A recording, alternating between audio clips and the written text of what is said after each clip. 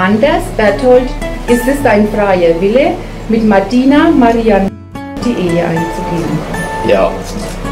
Nun frage ich dich, Martina Maria, ist es dein freier Wille, mit Anders Berthold die Ehe einzugehen? Ja.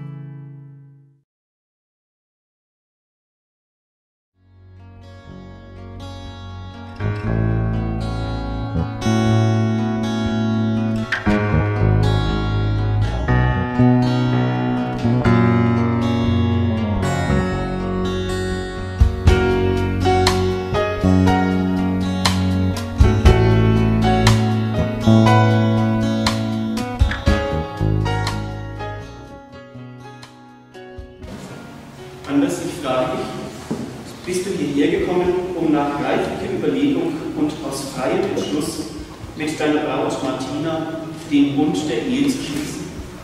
Ja.